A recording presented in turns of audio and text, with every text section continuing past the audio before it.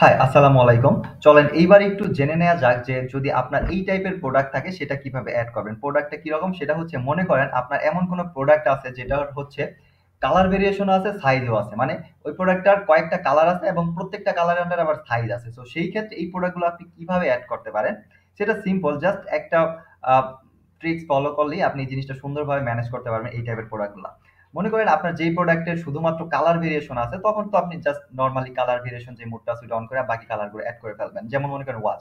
ওয়াচের সাথে কিন্তু কোন আর সাইজ থাকে না। ওয়াচের কয়েকটা কালার থাকতে পারে। তখন আপনি কালার ভেরিয়েশন মোড বানাবেন এন্ড বাকি কালারগুলো এড করবেন। আর ধরেন মনে করেন শুধুমাত্র সাইজ আছে। তখন ধরেন যেমন হ্যাঁ, শুধুমাত্র সাইজ থাকলে আপনি সাইজ ভেরিয়েশন বানাবেন দেন হচ্ছে সাইজগুলো এড করে ফেলাবেন। বাট প্রবলেম আপনি তখনই পড়তেছেন আপনি কনফিউজ হয়ে যাইতেছেন যে যখন আপনার একটা প্রোডাক্টের কালারও থাকবে, সাইজ থাকবে তখন কি করবেন?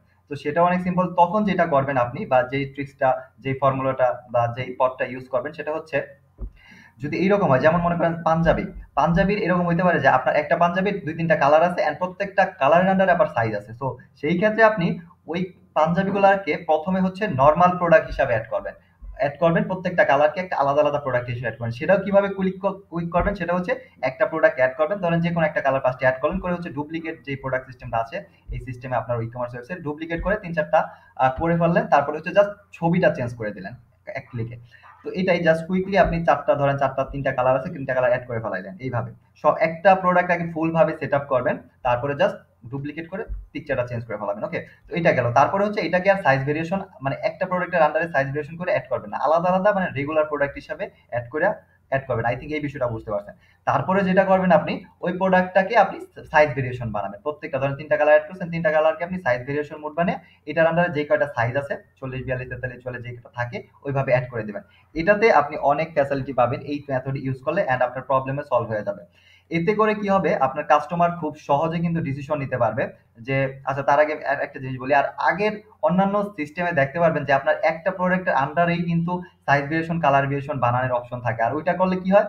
ওইটা করলে কাস্টমারের যেই একটা ল্যান্ডিং পেজ আছে এটা আমি একটু একটা প্র্যাকটিক্যাল দেখাই। একটা প্রোডাক্ট আমি একটু ওপেন করি। মনে করেন ধরেন এই প্রোডাক্টটা এই পাঞ্জাবিটার আপনার সাইজ ভেরিয়েশনও আছে, কালার ভেরিয়েশন। এইখানে আপনার নিচটা শো করে সাইজ, কালার এতে করে কাস্টমার অনেক মানে কমপ্লেক্স হয়ে যায় চেক আউট প্রসেসটা। কাস্টমারকে ফার্স্টে কালার সিলেক্ট করতে হয়। তারপরে সাইজ সিলেক্ট করতে হয়। আর কালারের নামগুলো লেখা থাকে। সাইজ কালারের নাম নাম দেখে কিন্তু একটা প্রোডাক্টের সম্পর্কে ওইভাবে ভালো আইডিয়া পাওয়া যায়। এটার প্রিন্ট কেমন, দেখতে কেমন শুধু নাম লেখা থাকে। এতে করে অর্ডার প্রসেসটাও কমপ্লেক্স হয় অ্যান্ড হচ্ছে কাস্টমারের বুঝতেও সমস্যা হয় যে আসলে এটা কেমন পাঞ্জাবি, কি অবস্থা। বাট আপনি যেই ফর্মুলায় এখন যেটা বলা হলো এইভাবে যদি আপনি করেন তাহলে যেটা হবে আপনার কাস্টমার আর আরেকটা জিনিস খেয়াল করেন কাস্টমার কি আগে কি ডিসাইড করে? আগে সে কালার, প্রিন্ট এই জিনিসটা আগে ডিসাইড করে যে কোন কালারটা নেবে, কোন প্রিন্টটা নেবে। তারপরে অর্ডার করার সময় তার সাইজটা প্রয়োজন হয় যে সাইজ কোনটা লাগবে। সো সাইজটা ভিতরে থাকাই ভালো। আপনি যদি এইভাবে আলাদা, আলাদা মানে কালার অ্যাড করেন তাহলে যেটা হবে আপনার পাঞ্জাবের যে ল্যান্ডিং পেজটা আছে এটাকে যখন যেটা এইটাতে যখন আপনি ট্রাফিক পাঠাবেন সে ঢুকলেই বাইরেই এখানে দেখতে পারবে যে প্রত্যেকটা কালার, প্রত্যেকটা প্রিন্ট। কাস্টমার বেসিক্যালি চিন্তা করে দেখেন সাধারণভাবে যে সবার আগে কিন্তু আপনি কিনতে গেলে আগে কালার চয়েস করবেন। কোন কালারটা, কোন প্রিন্টটা একটার মধ্যে যদি কয়েকটা কালার থাকে। যেমন এটার মধ্যে দেখেন এই যে এইভাবে আপনার জিনিসটা ডিসপ্লে হবে। মনে করেন এটা আলাদা হইলেও এরকম দেখাবে যে এই একই কালারের এটা জাস্ট একই প্রিন্টের কালারটা আলাদা, আলাদা। সো এখান থেকে ডিসিশন নিতে বুঝতে কিন্তু সহজ হয়। সো কাস্টমারের যেটা ভালো লাগল সে সেটাতে ক্লিক করে ভিতরে ঢুকলো। দেন আরও ডিটেইলস দেখল। অর্ডার করার সময় তারপরে তার কাছে সাইজ আসতেছে। সো চেক আউট প্রসেসটা, চেক আউট সিস্টেমটা একদম স্ট্যান্ডার্ড এন্ড সহজ এন্ড ভালোভাবে ডিসিশন নিতে পারবে customer. Okay?